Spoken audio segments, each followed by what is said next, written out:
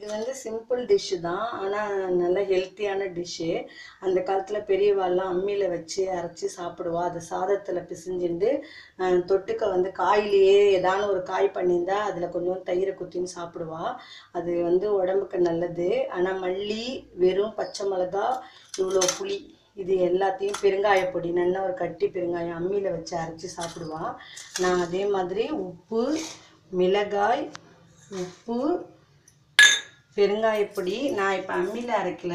இது நான் வந்து மிக்சியில் அரைக்கிறேன். இதில் வந்து இவ்வளோ பெரிய புளி.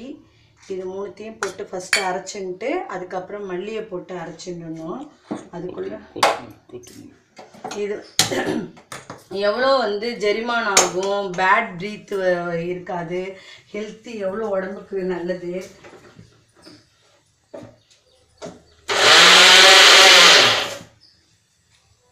அடிக்காது அதையும் அதை எடுத்துக்கிறேன்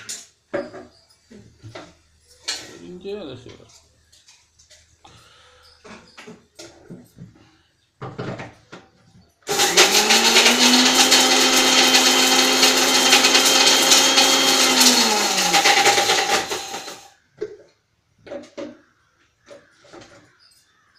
இந்த புளி இதோட மல்லியை போட்டுன்றேன். ஆனால் கெட்டியாக அரைச்சிக்கணும்.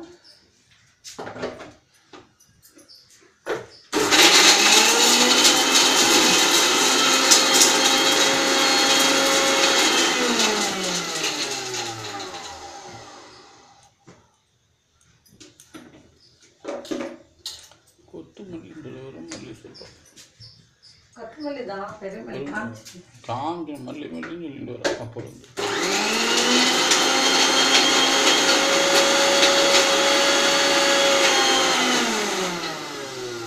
அது பேரும் சொல்லலை.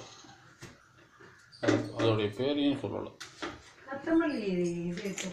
சொல்லலைன்னா சொல்லலைன்னா இதில் வந்து இதோட ஸ்பெஷாலிட்டி என்ன அப்படின்னு கேட்டால் இந்த மாதிரி மல்லி மிளகா எல்லாத்தையும் புளி எல்லாத்தையும் அரைச்சிடணும் இந்த மாதிரி கெட்டியாக அரைச்சின்ட்டு இது சாதத்தில் போட்டுன்னு சாப்பிட்லாம். மோர் சாதத்தில் பிசைஞ்சின்னு சாப்பிடுவா.